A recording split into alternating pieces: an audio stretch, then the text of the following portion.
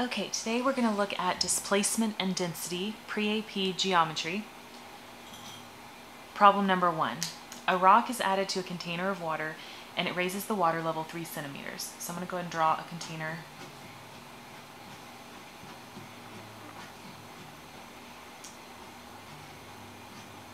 And we have a rise of three centimeters here.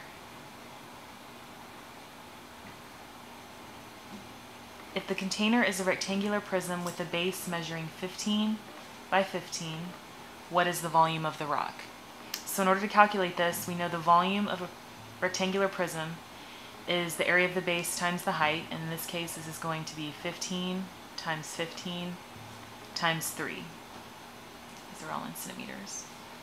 So this volume is going to be, calculate this real quick,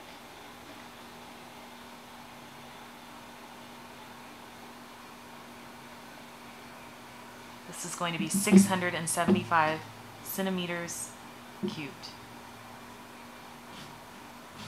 So we've got the displacement accounted for here by the 3, so we're not using the entire height, just the 3 centimeters that the, um, the water was displaced in order to find the volume of the rock.